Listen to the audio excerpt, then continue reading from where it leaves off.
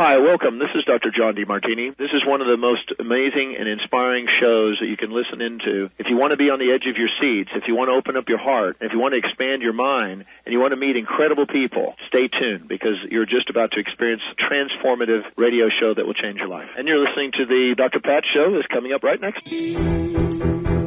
Welcome to the Dr. Pat Show. Talk radio to thrive by. Powerful, inspiring, and coming to you live, bringing you stories of people like you and me, busting through and living life full out. Get ready to dare to wonder what your life would be like if you knew you could not fail.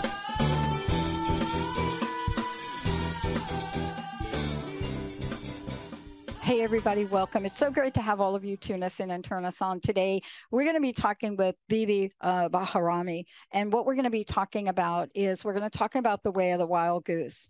We're going to be getting to experience the journey uh, that you know she has taken. You know when we talk about three pil- pilgrimages i love this. I just love this. I love the book and i love that we get to talk about it.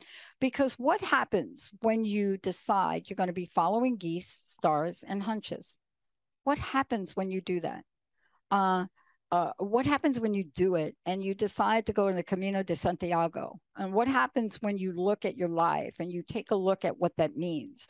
What happens when you bump right up against an adventure or pursuit? Maybe there's mysteries that you didn't anticipate. But what is it about you that has to be prepared for it? And what is it about this journey that changes you? Before we get into it and I tell you a little bit more about my very special guest, I want to say hello to Micah and hello to Benny. Hi, Micah and Benny.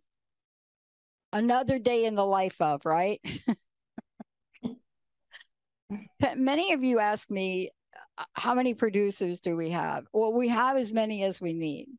You know, of course, you've heard Micah, you've heard Jacob, you've heard Benny. Some of you work with Lydia. And then, of course, there's Jessica. And every once in a while, you'll see me get behind the mixing board, but that is really not my strong suit.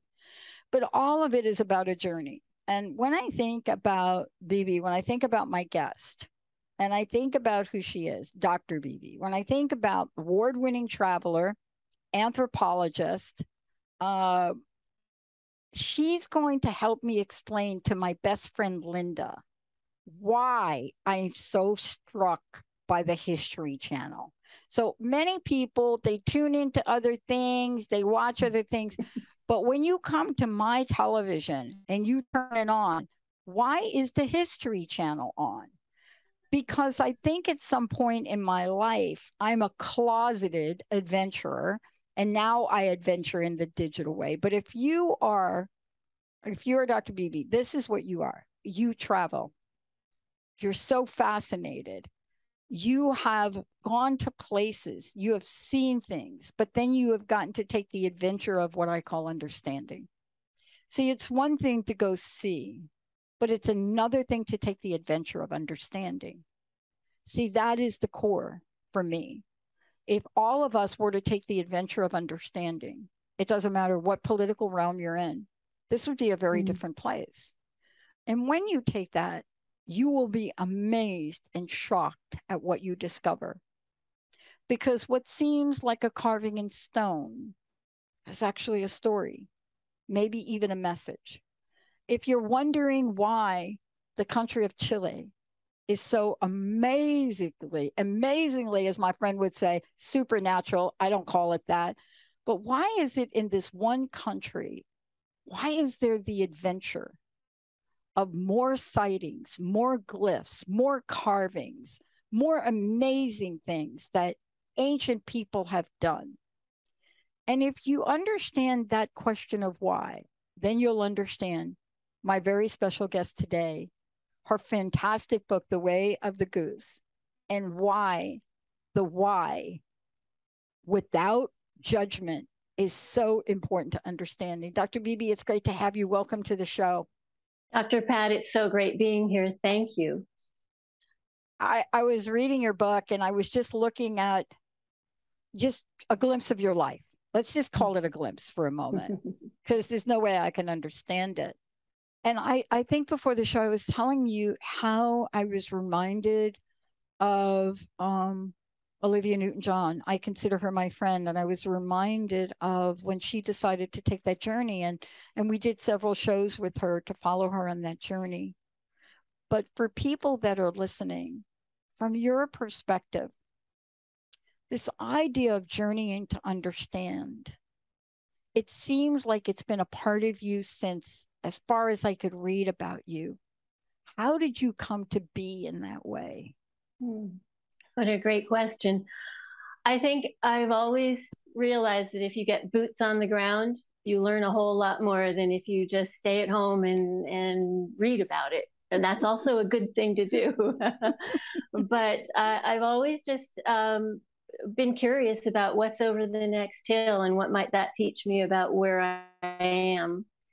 And I also think when I really got into um, my interest in spiritual traditions and meditation, I realized I'm not a sitting still meditator. I need to go for a walk. And as I walk, not only am I learning about the world out there, but I'm casting the road within and I'm learning about what's going on inside and the two connect. So I've always just been really curious. And then I discovered what a powerful tool to learn about. Know uh, what you're going to learn until you go over the next hill and you you get out of your comfort yeah I, I mean so, let me do the yeah i mean this is yeah this is really looking. what i love about this because you know as we're talking about this i love that the energetic you know wavelengths start to tap into because here's what i know after doing this for 20 years. Um, you know, what I know about this is that in the world we live in and how we live into it, um, when we say yes to something, right? Something else changes and it creates a ripple effect. Absolutely. And I think that's what you're talking about. And I believe that's in your book in so many different ways in so many different places, right? Yes, I mean, people say, "What? Why do you keep going back on walking the Camino? What's so special about the Camino?" And the Camino is saying yes to something that you don't really quite understand. You just feel called to go and explore, and all these synchronicities start showing up.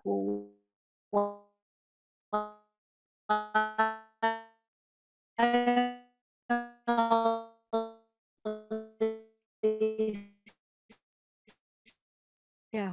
I think, yeah. Benny, um, Micah, why don't we take a short break if we could? And when we come back, let's see what we can do here because I think we've got a lot of energy. I think it's because of the yeah. yes. Yeah.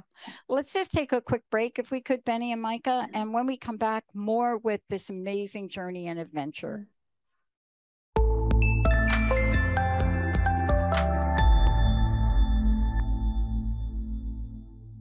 Everybody welcome. It's so great again to be connecting with all of you. I got to tell you i mean i i can't i can't tell you. I i think i'm going to have my guest talk about things um, to you uh, because i have been asked and i and i am being asked more often than not about how i got here right? Um you know and i i i learned that through reading your book, Dr. Beebe, I, re- I learned that that by reading your book, there may not be a logical answer for, answer to people to tell them how I got here, because on paper it doesn't seem logical. But when I take a look at, uh, correct me if I just when I look at the watercolor and the pen and ink, because I'm a visual, right? Right. Of course, right. I'm reading your book. But when I'm looking at this, I am thinking if I could create the story to answer that question of how I got here to people, I would call on you to help me do it. I would, I'd be like, please help me because I don't know how you came to understand the journey the way you have. Because not just this book, but your body of work, your life pays mm-hmm. so much respect and homage. You know, you you you just honor these journey, these places, as if you were part of the land, as if you were mm. part of the wind. And that's why I asked you the question earlier about, you know, how did you come to be to be you? But it's interesting if we look at the goose as a totem, mm. as medicine. Just a moment. Let's just mm-hmm. take a mm-hmm. moment to just honor, right? Mm-hmm.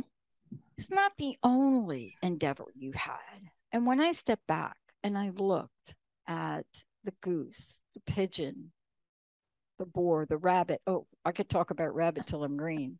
and you put it all together. And the way that you wrote the book and how you keep us engaged, it shows me just an acute honoring of the elements, of the four legged, of the two legged, of the crawling, of all of that. In your words, how did this, how did the pilgrimage, how did they change you? Mm. And can you recall moments along the way where you're like, what? oh, definitely. Oh, definitely. Um, the pilgrimage changed me most profoundly by just inviting me to simplify everything, carry what I needed on my back. Great. And it, it's amazing how little you need to to you know live everyday life. Uh, so a few clothes, bottle of water, bit of food, and and not just simplifying and and saying this is all I need, but um, simplifying in the sense of dropping a lot of fear about what if you know what if i this happens? Do i have enough for this? Instead of shifting that and saying let me just trust. This is a path that is going to support me and trusting. So i really by walking the camino de santiago i learned not only do i need very little but i also found that every single day all my needs were met and sometimes more than my needs. You know it was just even the hard days there were great gifts at the end of it and i everything that i needed came to me and that living like that for 40 44 days on end rewires you. And you go home and you realize first of all i don't need a lot of stuff. Second of all i should trust life more. If i trust life more i'll start seeing avenues that i didn't see that are open and inviting me to walk down them it also changed me i mean all my life i've loved nature and i've felt a connection to nature and i'm very lucky i was born in in colorado and i grew up in the mountains so i was able to have that immediate access to wild raw nature.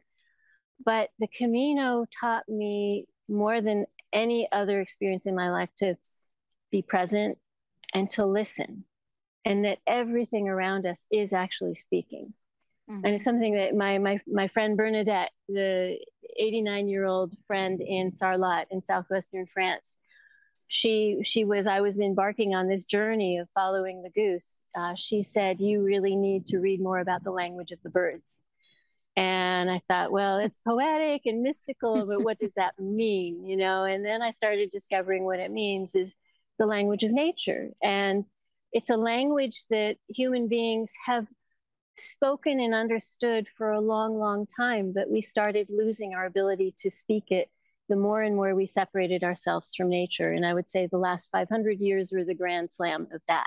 yeah.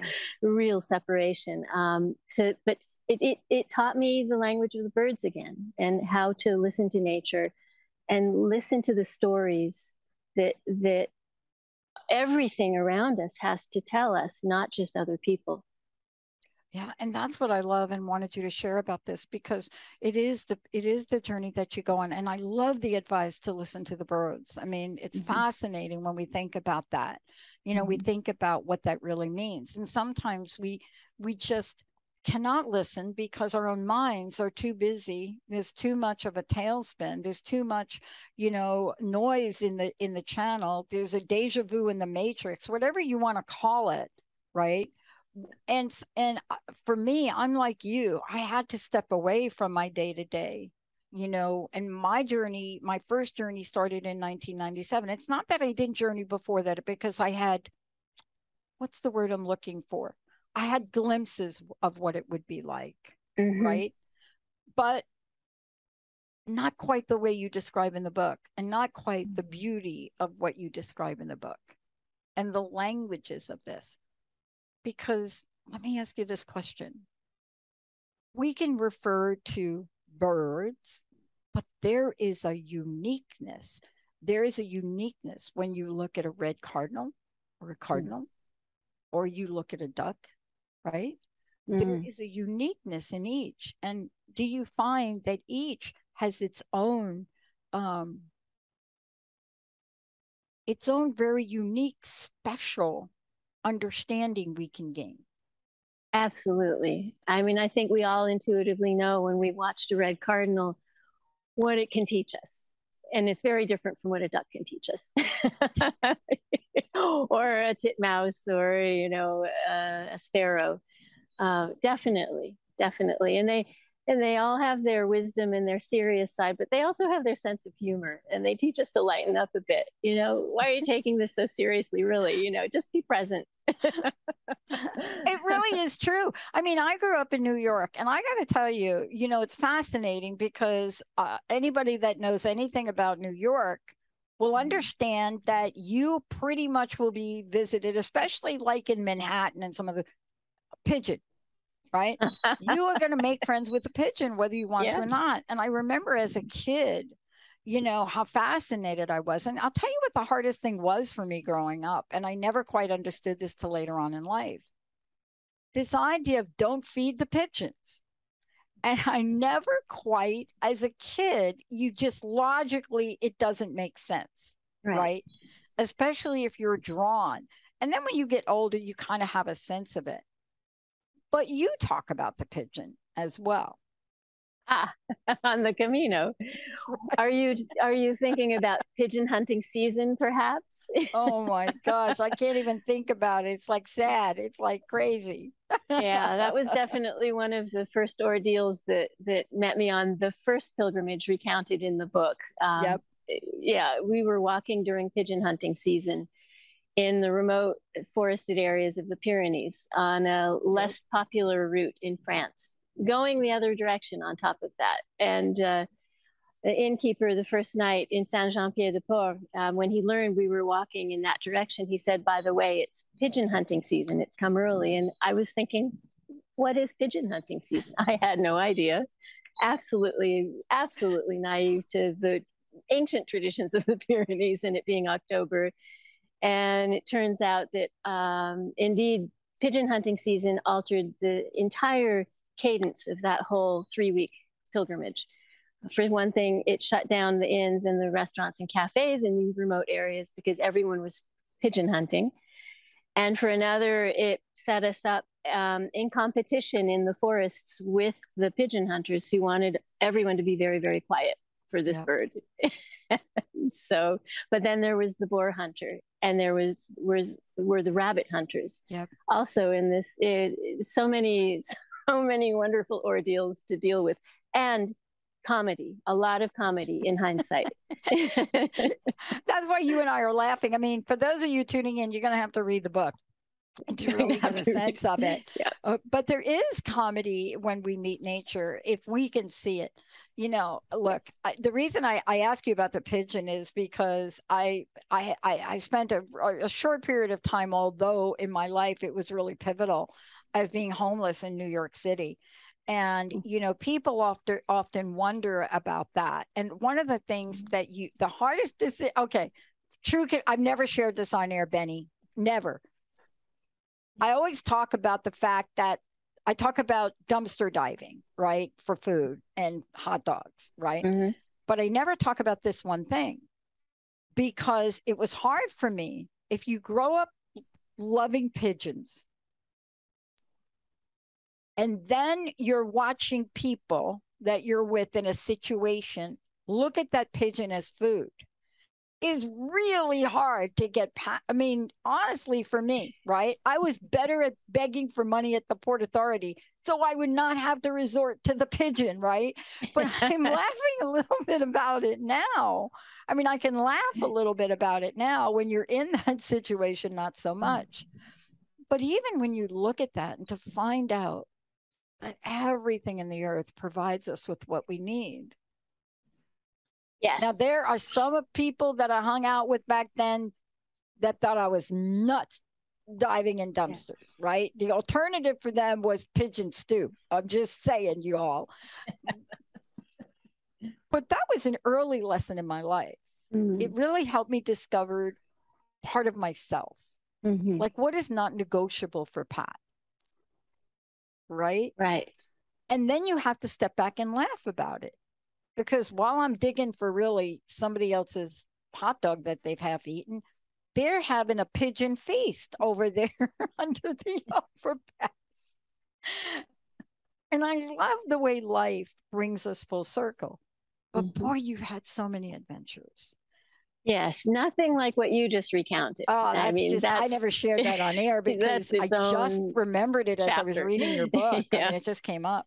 Yeah. Um, but there's so many adventures and there's so many lessons and there's so much understanding. I want to take a short break, Benny. When we come back, I want to talk about some of the other journeys. You and I have had experiences with some of the other beautiful things of nature.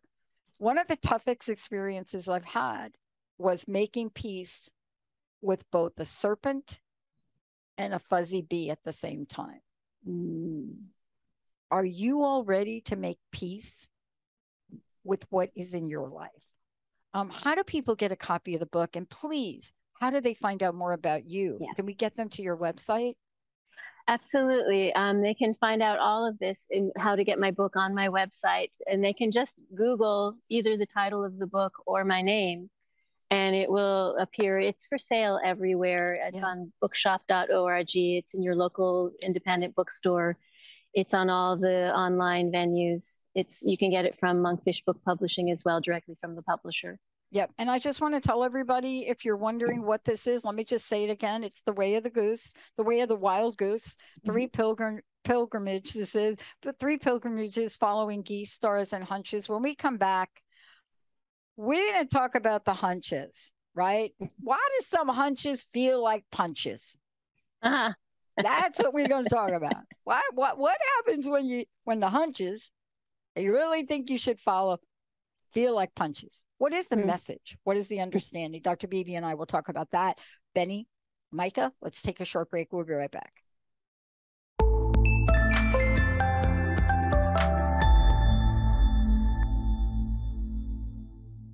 Everybody. Welcome back. Welcome back to the Dr. Pat Show. It's so great to have all of you tune us in, turn us on. Thank you so much for that. Um, and I am so thrilled. We're talking about the way of the wild goose. These are three pilgrimages, but I must say there's so much more here. First of all, it's a beautifully written book. But the other part of this that's so wonderful when you look at it is the sensory aspect of the of what you will feel and how you will see things through the eyes of Dr. Beebe. It's really just interesting mm. when you open up the pages and you feel like, wait a minute, a magical trail. It continued.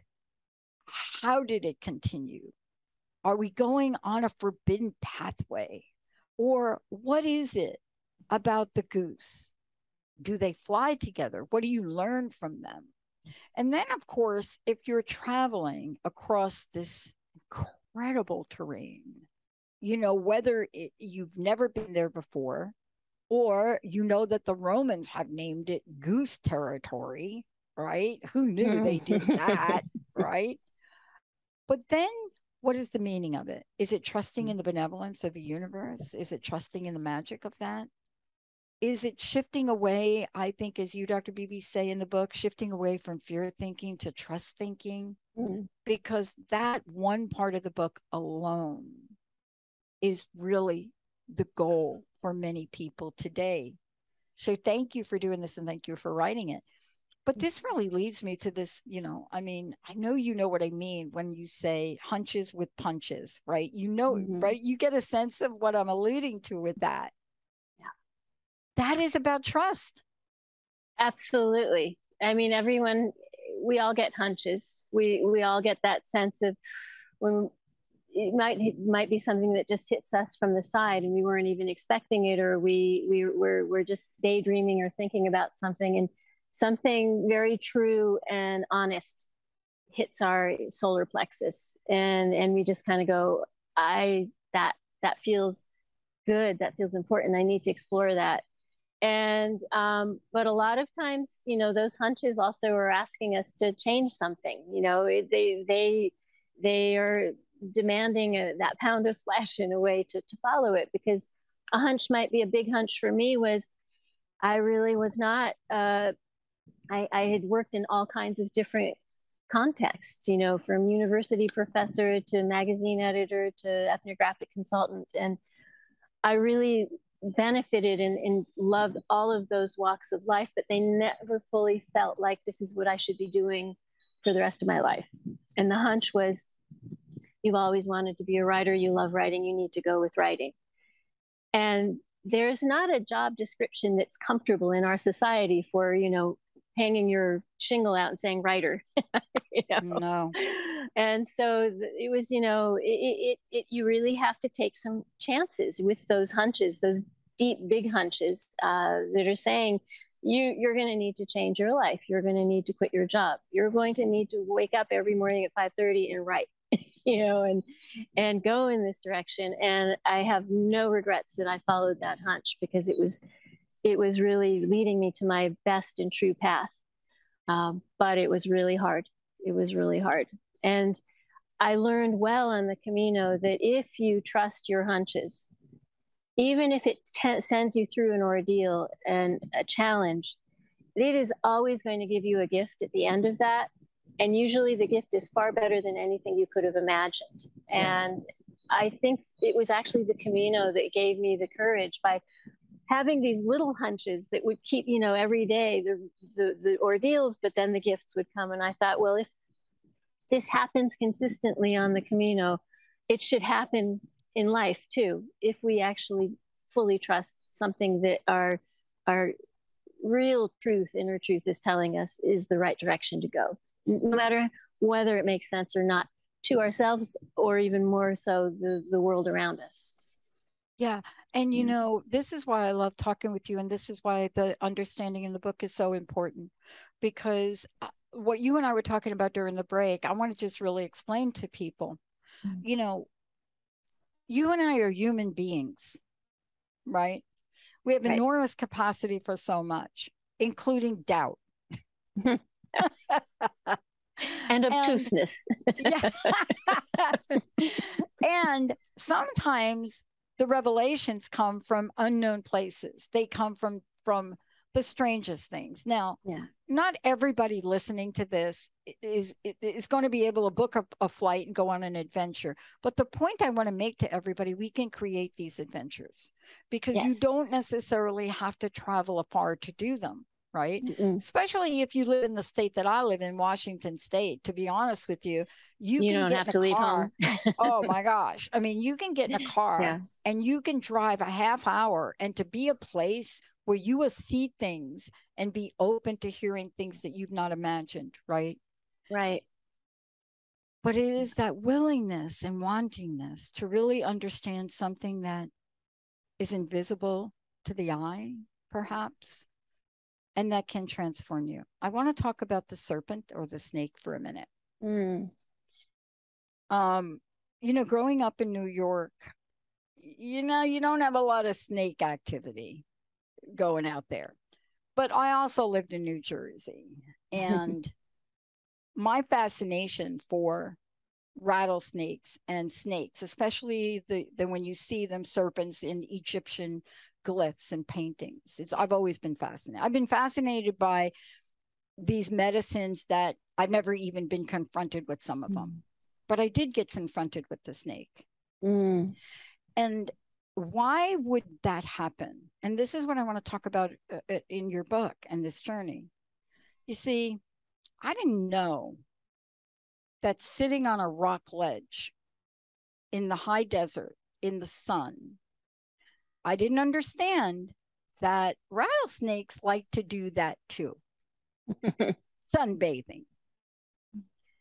And when you decide you're going to find this place and sit there, and you mm. don't know that, your entire set of ego and fear will show up.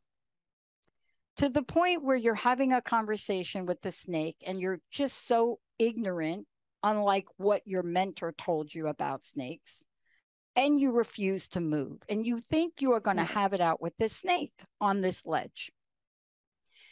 What part of us gets to understand and learn? And I will tell you this I'm not going to talk any more about it, but I will tell you by the end of three days, the conversations I had with this beautiful creature, right? Mm.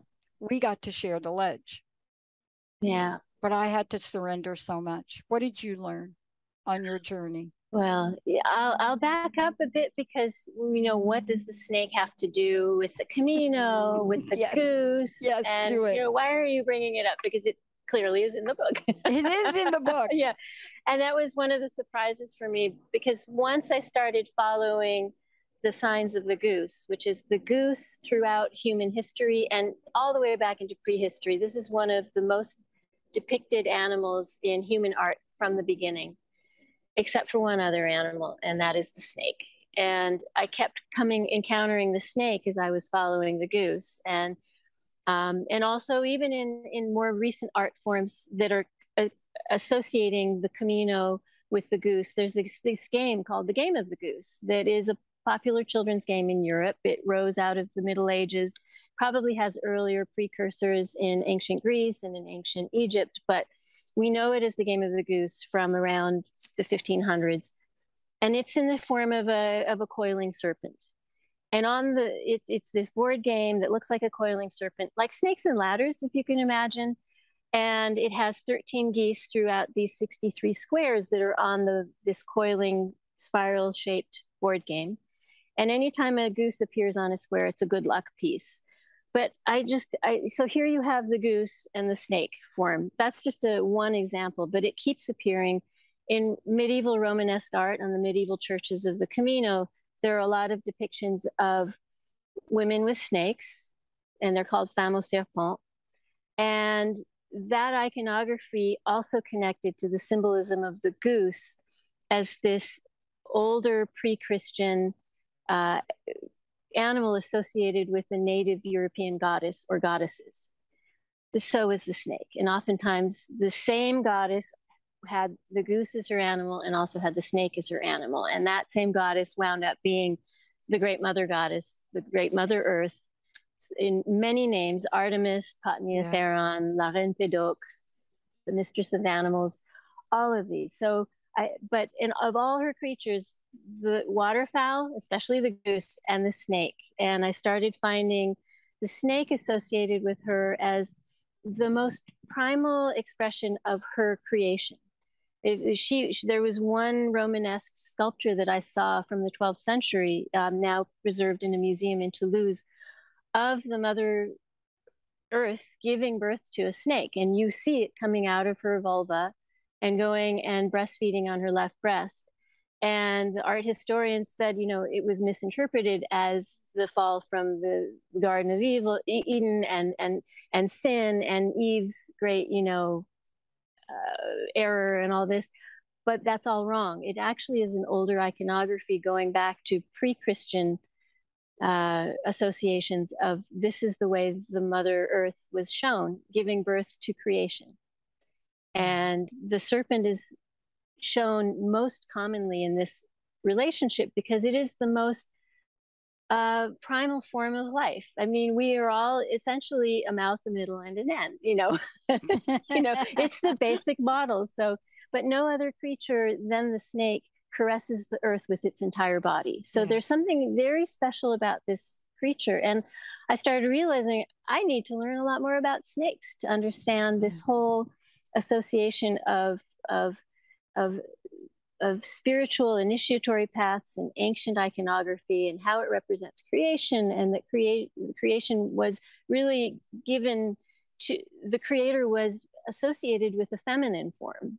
So it's also the lost feminine divine that these two creatures are hinting at and, and, and preserving and carrying forward even in contexts where the feminine divine is now put into a secondary position compared to the masculine divine Yes. And uh, and I, I, found a wonderful uh, New Testament scholar at the Princeton uh, Theological Seminary, um, Charles Charlesworth, James Charlesworth, who wrote a whole book about the good and evil serpent. And he said he also scratched his head. Why has the serpent become associated with so much uh, negativity when in all ancient societies, including biblical societies, it was actually a positive force. Um, yeah.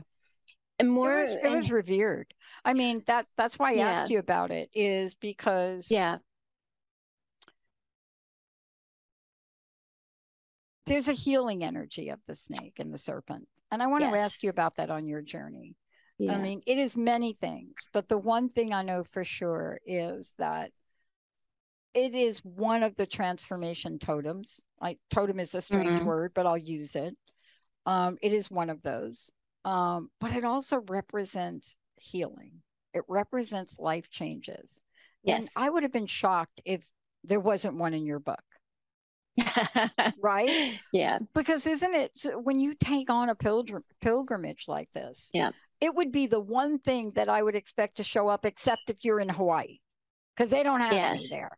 Okay, yes. so we wouldn't expect it in Hawaii, yeah. but I guarantee you, you'll get a bunch of other st- things in Hawaii. Yeah. What did well, you anyway, learn from it? Yeah, you know, I I learned for one thing, I I write more about this the the sculptures, the medieval yes, sculptures depicting serpents, but I have had a number of, of snake encounters on the Camino and hiking in southwestern France. Yep. And a couple times with a viper. Um, so and anytime you come into such close contact, immediate contact with a snake, everyone knows who's been there.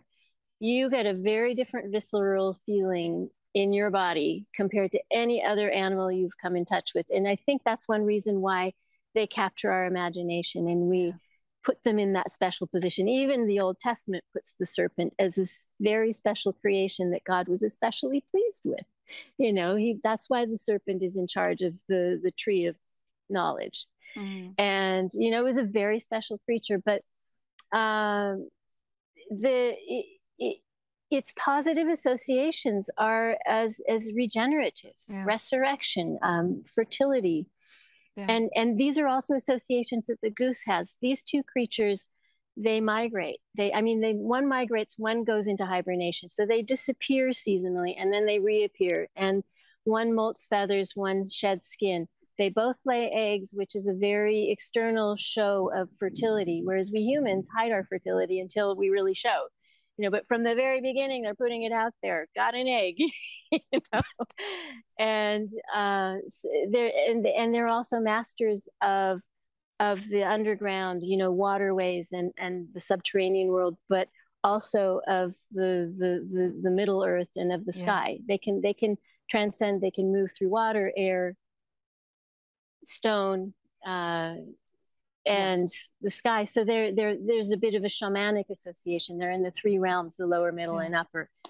Uh, so there's a lot of things, and I think when you encounter a snake, especially, you feel that that power of this creature that is so different from you, but also has so many universal traits. Yeah. It, yeah, and that's why I scratching the surface because it really talks to um, the many different aspects of your book and your journey and what people will experience along the way. You see, they will get to be part of that. Now, you know, uh, look, whether you confront one head on or you relate to a glyph or you relate to a stone etching or you relate to something, right? I mean, because my first encounter with a snake wasn't real in, in person, it was through the imagery, right? Mm-hmm. It was through the diagrams, it was through the watercolors, it was through those kinds of things. And there's so much in your in in your journey that is so fascinating to look at. What? You know, there yeah. There are there are people who are locals living on the Camino, serving the Camino, and they talk about the pilgrimage road across northern Spain as a serpentine road as and they talk about it having kundalini energy. Exactly they talk about it connecting to your energy when you put your feet onto it and this ley line energy. So it's you know at that level as well mm-hmm. it, it, it comes into play. I want to ask you this in the time we have left and i know we have about you know five or six minutes left. There is a special message in the book, and everyone will get to take away their own message because that's where you wrote the book. But I have to ask you, as you sit here today now, after the fact, how would you describe the book's message for the world? It's a two layered message. The first is, you know, when I first started following the goose, I was following arrows on the Camino. And at some point, I realized that the arrows are directing us for everything on the surface, which is important. You need to navigate, you need to find your way. But if you invert the arrow, it becomes a goose footprint. And it's mm. saying, look below the surface, look for things that are not immediately evident, listen to them, pay attention, open your vision more widely and deeply to see what's really going on. That's the first. And the second is all this iconography and the survival of, why why the goose again? I mean this goose is also related to mother goose. This goose is related to ancient goddesses from native europe and asia. And uh, why is it surviving in a medieval route and then in the christian tradition?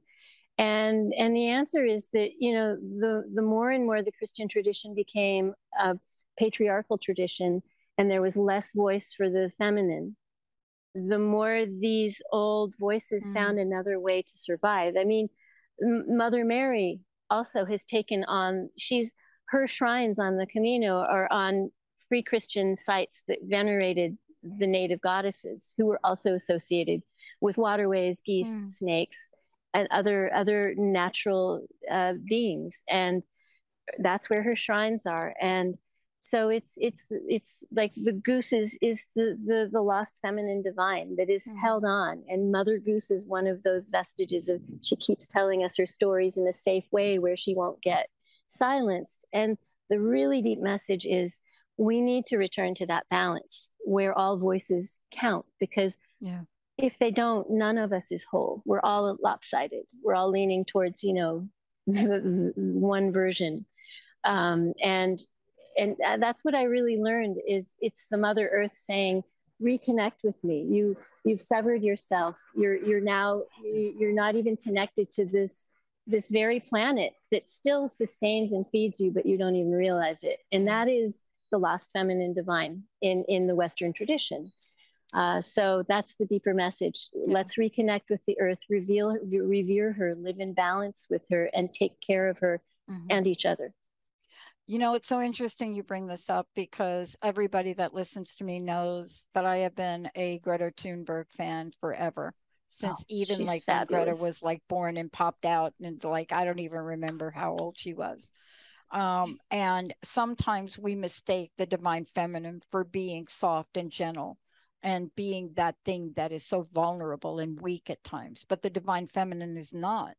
You know, the divine feminine is compassionate yet powerful you know it is both smart and also intuitive you know there's so much depth to it when i think about what you just said i think about greta and mm. i think mm. about this child chose this life to have a bold cause to then now be threatened her life threatened her family's life threatened because she so believes in what you just said mm. right there's a greta in all of us and I, I want to encourage people to not just read your book, but mm. imagine them changing something in their day. Just one thing in your day. If, if you all can change one thing in your day after reading this book, and by the way, when you read this book, it is going to be so easy for you to do because I already changed like three things in my day. And I got to go back to the book because there's, I got to read it, one of the sections again. Wow. But this wow. is more than a pilgrimage. What you're helping us understand is this blueprint for understanding and to pick something from what you've shared in your own life's journey that will allow us to change something that innately is wanting to be changed in all of us. And I need to thank you for that. Thank you very much. That was so beautiful what you just said. Yeah, I want to thank you for that. You know, mm. I I can't imagine, but I'm going to ask you this. What's next for you? Are you going to start to take people on the pilgrimage? Like, what's next? I, am working that out. You know, I um, hurry I, up. I also, well, you know, I, I, also write a guidebook on the the the Camino de Santiago that comes out yes. of um, moon moon guidebooks from Berkeley and Hachette Oh, books, nice. and so I'll, I'll continue returning to update the guidebook, and I, I fold in a lot of folklore and history and archaeology and, and stories in, in in what is also a practical guidebook. So, and I was just I just came back from the Camino and from southwestern France, and part of the work is that. Part of it is I'm I'm I'm starting to feel out, you know, what is the next project, um, and it's probably going to dive even more deeply into the folklore of these areas Yeah. that are really starting to come to the surface and speak very, very uh, much to our times. So it's really interesting to see the ancient and the modern connect. Um, so, but I the other the other answers I don't know. I'm I'm I'm exploring right now. I'm That's back why I out on asked the you trail. the question. Yeah. That's actually why I asked you the question because I think that what I want people to do is have a way to follow you and have a way to get the book. Because I do know that when you venture on what you ventured on and you you you write so beautifully about it, your life is forever changed. And trust me, when I came off of my first and second, my first Vision Quest mostly, my entire life changed. Yes. Everything, what I thought I was going to be, changed. Thank you for today. Please give out your website again. Tell folks how they can get the book. And thank you so much for your time today. Thank you very much. It's been such an honor and pleasure to speak with you. Um, how do here. people get the book? It's everywhere, right? It's everywhere. Um, Google my name. My website will come up at the top, uh, but it is beebebahrami.weebly, W-E-E-B-L-Y dot com. And, or Google the title of the book in the Yeah. same thing. You'll find it all there. Yes. Very easy for everybody to remember the way of the wild goose. Just go ahead and Google that. And Beebe, B E E B E. It's the way my sister used to spell her name. So just go ahead and you'll see. And if you do nothing else, go over, take a look at it, and take a look at just take a look at the table of contents. I guarantee you, once you look at just the table of contents, you will want to know more. Thank you so much, Dr. Beebe, for everything you're doing. And yes, we will be waiting to see what you do next, but I do understand the process. You know, Thank you so much, Dr. Pat. Yep. Sometimes after you venture and you get yourself on a pilgrimage, you just have to be. You Yeah. just have to be. Uh, thank you, Dr. Beebe. Thank you, Michael. We're going to take a short break, everybody. Benny, we'll be right back. Give us a few minutes. Thank you. All clear. Thank you.